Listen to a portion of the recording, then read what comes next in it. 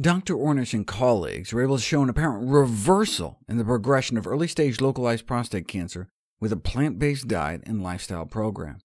And researchers at the University of Massachusetts and elsewhere showed a similar diet may help slow the progression of even advanced prostate cancer over a period of four months. How about six months? Researchers at UC San Diego found more cancer patients in the same situation and put them through the same protocol.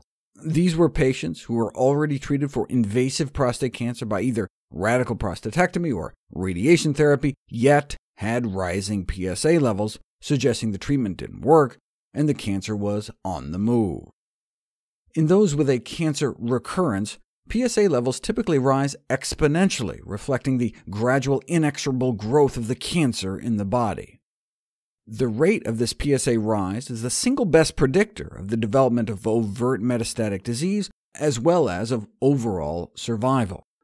The next step would be what's called hormonal therapy, which is chemical or surgical castration, which has a list of side effects, including loss of libido and sexual function and strength and vitality.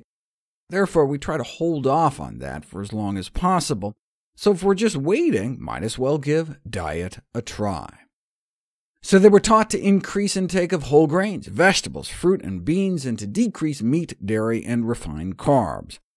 Of all possible lifestyle interventions, why a whole food plant-based diet? Well, if you look around the world, there are huge differences in prostate cancer rates, with we're number one, USA, USA, rates up to 100 times higher than some places in Asia, for example. And it's not just genetic, Within one generation of coming to the U.S., cancer rates shoot up, and the grandkids end up with the same top-of-the-pile rates. A whole range of lifestyle factors have been looked at, but diet appears to have the greatest influence. Specifically, consumption of meat and dairy appears to increase risk, and consumption of plant foods appears to decrease risk, hence the plant-based diet. A possible mechanism is arachidonic acid, an inflammatory compound which we make from omega-6 rich oils like corn oil, sunflower, safflower, and cottonseed oil, and also comes preformed in animal-based foods, particularly from chicken in the American diet, and also eggs. And in a petri dish at least, arachidonic acid appears to stimulate prostate cancer cell growth as much as 200% but ask men to remove processed and animal foods from their diet for six months, and what happens?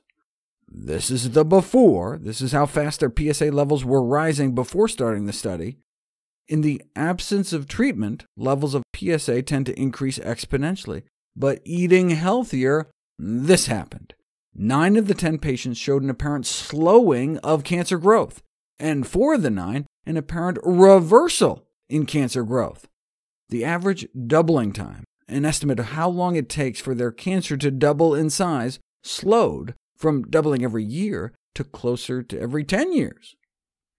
There's been other studies using various diets and nutritional interventions like vitamin supplements, but none have worked as well as this one.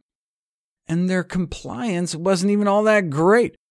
They did good about boosting their whole grain consumption, especially in those first three months, but then backslid a bit.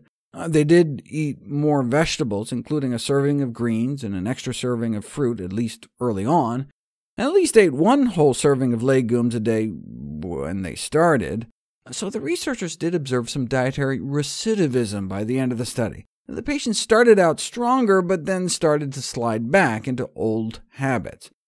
So the researchers checked to see if maybe they were better able to beat off the disease during that earlier period. And indeed, at the end of three months, on average, there was PSA reversal. So changes in the rate of PSA rise were like opposite that of whole food plant intake, raising the provocative possibility that PSA may have been like tracking those changes, suggesting that the adoption of a plant-based diet may have therapeutic potential in the management of recurrent prostate cancer. Their findings suggest that without further surgery, radiation, or chemo, disease progression can be slowed or even reversed, despite the prevailing scientific consensus that cancer progression is largely irreversible. They're not refuting the benefits of standard therapies, and not guaranteeing that a plant-based diet and stress reduction will always induce remission, but the results do contribute to this growing medical literature that in at least some circumstances, cancer may be partly reversible. Just by modifying dietary and lifestyle factors, men may be able to prevent disease spread all without getting their testicles chopped off.